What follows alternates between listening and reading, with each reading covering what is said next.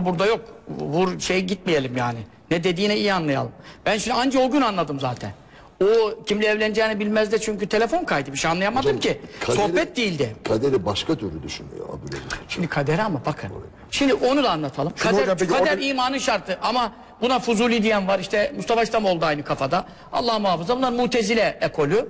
E, kaderiye mezhebi diye zaten ehli sünnet dışı bir fırka. Kader yok diyenler. Bunlar ne kaderi var? Bunların kader var dedikleri de var.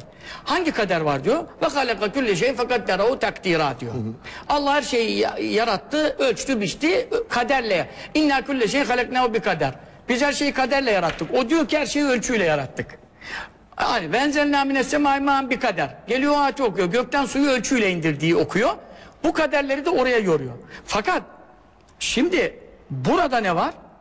Ee, senin e, diğer ayetleri de görmen lazım. Bir de hadis esas. Peki Bak orada hocam. Abdülaziz Bayındır hadislere Hocam şimdi- inanıyorum dedi. Ee, diğer ayetleri de görmen lazım. Bir de hadis esas. Peki Bak orada hocam. Bayındır hadislere Hocam şimdi- inanıyorum dedi. Ee, diğer ayetleri de görmen lazım. Bir de hadis esas. Ee, diğer ayetleri de görmen lazım. Bir de hadis esas.